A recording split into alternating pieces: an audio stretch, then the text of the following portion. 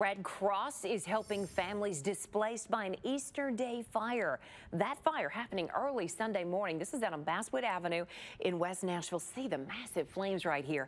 News 4's Ryan Breslin's joining us live with the efforts taken to save all lives there in those condos. Hey, good morning, Ryan.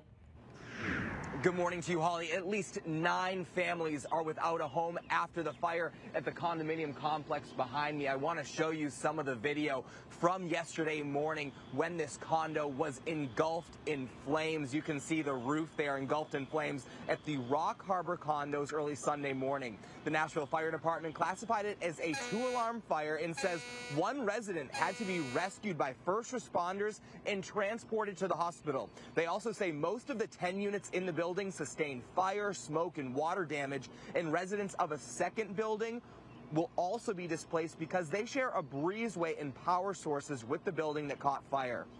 Neighbors helped residents who lost everything yesterday. Take a listen.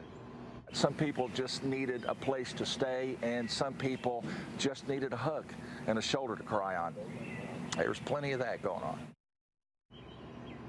Now you can see this morning that the condo is uh, surrounded by a fence now, so no one can get inside there. At this point, the cause of the fire is still under investigation.